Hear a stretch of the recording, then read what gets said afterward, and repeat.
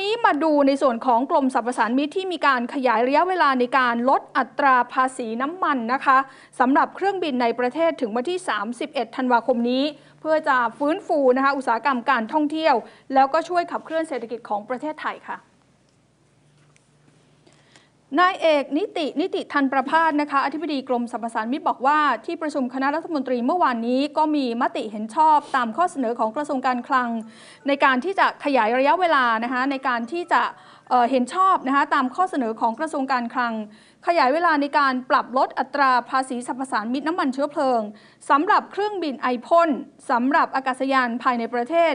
จากเดิมเนี่ยอัตราลิตรละประมาณนะคะอออยู่ที่ลิตรละ 4 บาทนะคะกับอีก 70อขออภัยนะคะ 4.72 เนี่ยนะคะ เหลือลิตรละ 20 สตางค์ออกไปอีก 6 เดือน ตั้งแต่ 1 กรกฎาคมถึง 31 ธันวาคม 2565 เพื่อจะช่วยลดต้นทุนทำให้ระดับราคาตั๋วเครื่องบินนั้น ไม่สูงจนไปกระทบต่อผู้บริโภค แล้วก็ช่วยเยียวยาภาคธุรกิจการบินภายในประเทศ ให้กลับมาปิดเที่ยวเเปิดเที่ยวบินได้ตามปกติโดยเร็วที่สุด รวมทั้งช่วยฟื้นฟูอุตสาหกรรมการท่องเที่ยวของไทย ซึ่งเป็นหนึ่งในอุตสาหกรรมหลัก ที่ขับเคลื่อนเศรษฐกิจของประเทศ หลังจากที่สถานการณ์การแพร่ระบาดของโควิด -19 นั้นคลี่คลายลง ส่วนมาตรการปรับลดอัตราภาษีสัพพสานมิตรน้ำมันดีเซลลงลิตรละประมาณ 5 บาทขณะนี้ อย่างสิ้นสุดระยะเวลาเดิมก็คือ 20 กรกฎาคม ซึ่งหลังจากนี้กระทรวงการคลังจะพิจารณาอีกครั้ง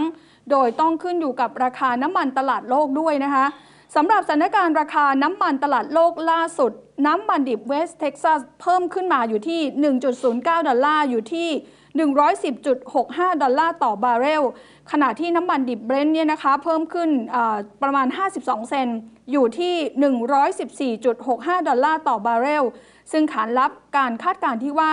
ความต้องการใช้น้ำมันในสหรัฐ จะเพิ่มขึ้นนะคะในช่วงของฤดูร้อน โดยสมาคมยานยนต์อเมริกันก็รายงานบอกว่า ประชาชนประมาณ 42 ล้านคนทั่วสหรัฐ มีแนวโน้มจะเดินทางด้วยรถยนต์ในช่วงวันหยุดยาวสุดสัปดาห์นะคะ เนื่องในวันชาติสหรัฐก็คือ 4 กรกฎาคมนี้ แม้ว่าราคาเชื้อเพลิงจะพุ่งนะคะแล้วก็แตะระดับสูงสุดเป็นประวัติการก็ตาม นอกจากนี้ตลาดยังกังวลนะคะปริมาณน้ำมันหลังจากชาติตะวันตกมีการคว่ำบาตรน้ำมันของรัสเซียโดยยังจับตาดูว่าการผลิตน้ำมันนั้นจะลดลงเพียงไร จากผลกระทบของการคว่ำบาตรนั่นเองค่ะ